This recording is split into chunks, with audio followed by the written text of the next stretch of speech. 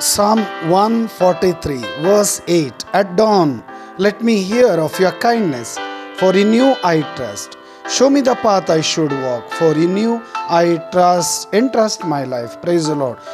The psalmist asks us to entrust his life to the Lord. Let's entrust our life. In the dawn, we hear the Lord's kindness, goodness. Let's surrender ourselves. Let's praise Him. Thank Him. Hallelujah, hallelujah, hallelujah.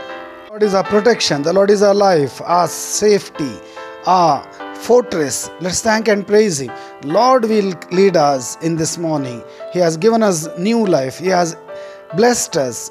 He is our fortress. He is the greatness. He has shown His mercy, compassion, love. Jesus is our Master, Lord. Just let's thank and praise Him for the day.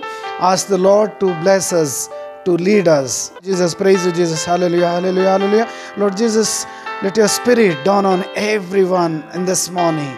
Let your spirit be moving among us, the brothers and sisters who are pleading for you. Let your spirit guide us, entrust us, heal us, empower us. Hallelujah, hallelujah, hallelujah. Thank you, Jesus. Praise you, Jesus. Father, Son, and the Holy Spirit. Amen.